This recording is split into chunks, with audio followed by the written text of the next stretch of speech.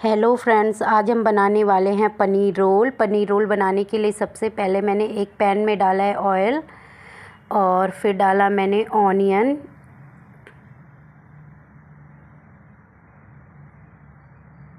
Onion डालने के बाद मैं डालती हूँ इसमें शिमला मिर्च।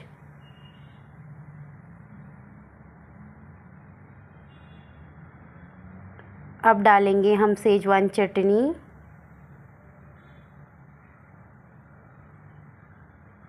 Tomato sauce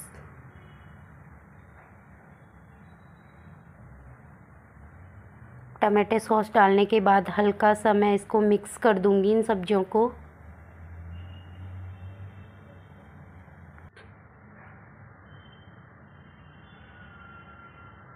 अब ऐड करेंगे हम इन सब्जियों में पनीर।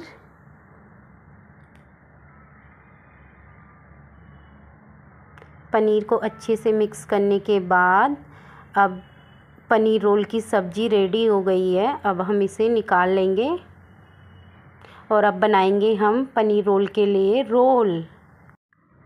पनीर रोल को बनाने के लिए आपको रोल के लिए मैदा भी यूज़ कर सकते हैं, लेकिन मैंने आटा यूज़ करा है और अब हम बनाना स्टार्ट करते हैं।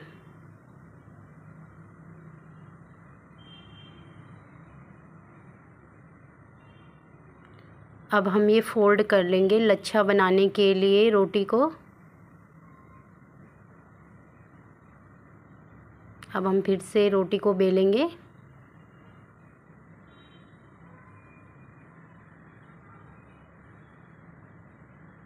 अब हमने रोल को डाल दिया है तवे में। अब इसे हल्का सा गोल्डन ब्राउन कलर आने तक सेक के।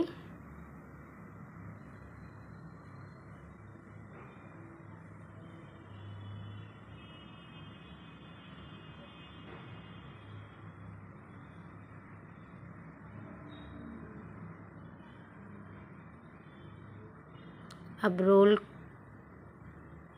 अब रोटी पे जो हमने मिक्सर, सब्ज़ी वाला मिक्सर था, पनीर मिक्सर, उसे लगाएँ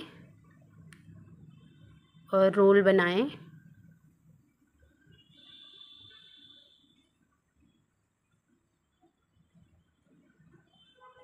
तो फ्रेंड्स, देखिए, अब हमारा पनीर रोल रेडी हो चुका है।